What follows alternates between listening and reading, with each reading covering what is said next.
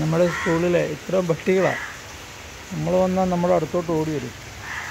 ഒന്നും ചെയ്യത്തൊന്നും ഇല്ലേലും എപ്പോഴാണ് ഇതിന്റെയൊക്കെ നിറം മാറുമെന്ന് പറയാൻ പറ്റത്തില്ല.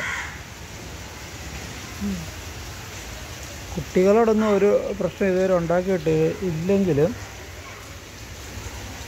ഇത്രയും പട്ടിയെ കാണുമ്പോൾ ഓട്ടോമാറ്റിക്കായിട്ട് എല്ലാവർക്കും പേടി വരും. എന്ത് പട്ടി ഉണ്ടെന്നറിയാം ഇത് ഇത്രയല്ല ഇത് കൂടുതലുണ്ട്. നമ്മൾ പല പഞ്ചായത്തിലും മറ്റ്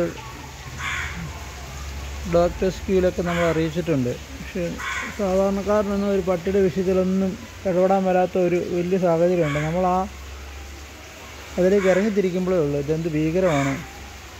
ഒരു ഡോഗ് മാഫിയ തന്നെ ഉണ്ട് ഇത്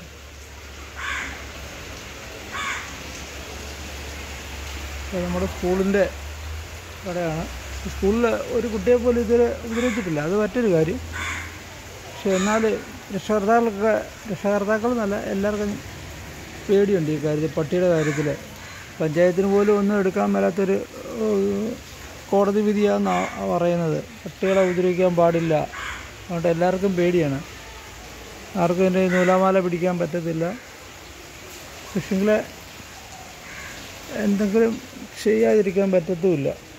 നമ്മൾ വന്ന പറഞ്ഞതെല്ലാം കഴിക്കാൻ വേണ്ടി ഓടി വരും. നമ്മളെ വന്ന് മണത്തും.